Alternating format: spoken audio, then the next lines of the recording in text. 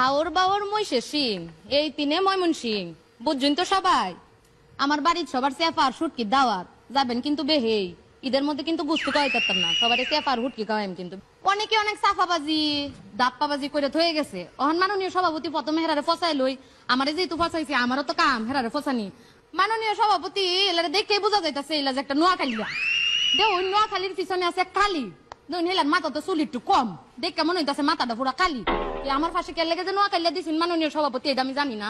আমি ডরের চুলে মরে যাইতাছি যে আমার ব্যাগটা নাকি হেলা কোন সময় কালি করে দেয়। নোয়াখালিয়া ভাই, আপনি আমার একুশা মাইরা কইসুন ময়মন সিংহে মানুষ খালি কাম কাম করতো আয়, শহরের মধ্যে কাম করতে।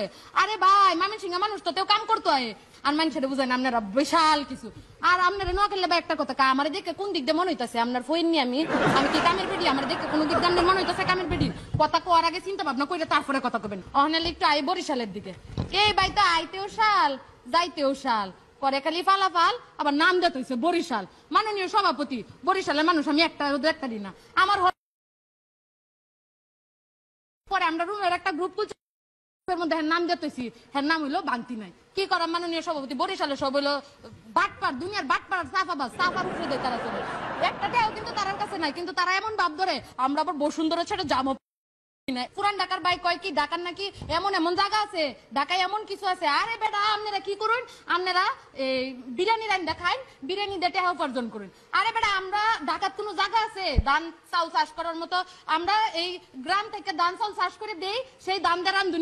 বিরিয়ানি সেটা যদি আমরা না দিতাম কি খায় কি দিয়ে পয়সা রোজগার করতেন? কথা করার আগে চিন্তা ভাবনা করে তারপরে কথা কইবেন। আর আমার লগে লাগতেন এনে যখন কুবাইল বাম কিন্তু কইলাম। মানুষের মানুষের লগে লাগে চিন্তা ভাবনা করে তারপরে আইবেন। আপনি যথেষ্ট কথা কইতে গেছেন আপনার কিচ্ছু কইছি না তখন এলাকা মনে হচ্ছিল হন আপনারা সাইডে দিম এরা তো বাপরেও কয় হালা বউরেও কয় হালা মারেও কয় হালা। আবে হাল্লা কস কি? আপনারা এই তো ডায়লগ দেখলেই তো মেজাজটা খারাপ হয়ে যায়। হ্যাঁ ভাই কন কি কইবেন কন? আফা জি। আপনারা কি ট্রেনের টিকিট করে আসেন? আগে আপনারা কেরে আমার ডিস্টার্ব করতেছেন আমি বুঝতেছি না। আমার পিছে বই আছে সিলেটিয়া। এটি যায় দেশের বাইরে। যায়া ফোন দিলে তার প্রেমিকারা যখন ফোন দেয়, কয় কি, হ্যালো হ্যাঁ বলল। কয়, এই, আমি না এখানকার ওসি আমি না এখানকার ডিসি আমি না এখানকার টিসি পরে যখন এটার ইলাবোরেশন দিই তখন কে ওসি মানে ওই লোক অনিয়ন কাটার টিসি মানে ওই লোক টয়লেট ক্লিনার আর ডিসি মানে ওই লোক ড্রেন ক্লিনার এর আগে এটা ড্রেন সাফ করে, এই কয় কি, এরা ওসি ডিসি টিসি মায়েরা তো ফইতে পরে ফ্রেম করে ইচ্ছা মতো। অত জ্বালাইলে মাননীয় সভাপতি তক্কা তো কি করেন যে, আপনি কোনছে দেউনছে কি করতেছে? মাননীয় সভাপতি। ছোট্ট একটা প্রশ্ন ছিল। কোন, কোন? সেটা হচ্ছে যে আপনি কোন টিচি কোন ডিসি আর কোন ওচির ফাঁদে পড়ছিলেন? একটু কইবেন? এটা আমি আমার পূর্ব অভিজ্ঞতা দিয়ে কইতেছি। আমার এক ছোট বোনের এরকম হইছিল এর লাগে কইছি। আমি কইছি না।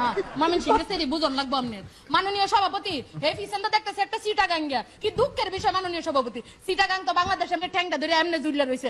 মাঝে মাঝে হইছে সাফাবাজি করতে হইছে। মাঝে মাঝে লাত দিয়ে যারা ফালাই দেবো, কি করবাম? আমরা মনে এত বড় যে ওদেরকে আমরা ফালাই দিতে পারতাছি না। মাননীয় সভাপতি, যাক, সবার কথাই কইলাম। কলকাতা ভাই আপনার একটা কথা কইবার চাই। আপনি অত ফুন্ডিতি করতে নাই শুন। আপনি খালি দেশের বাইরে তাইছেন দেখে আপনার কিছু কইতাছি না। আর নাইলে আপনার ফসাইয়া বানাইয়া করতে গেলাম বলে কলকাতার ভাই। যাক, মাননীয় সভাপতি, সবার অনেক কথা কইছি। আপনারা যারা আমার সাথে রাইছুন কেউ কিন্তু বেশি কথা কইবেন না।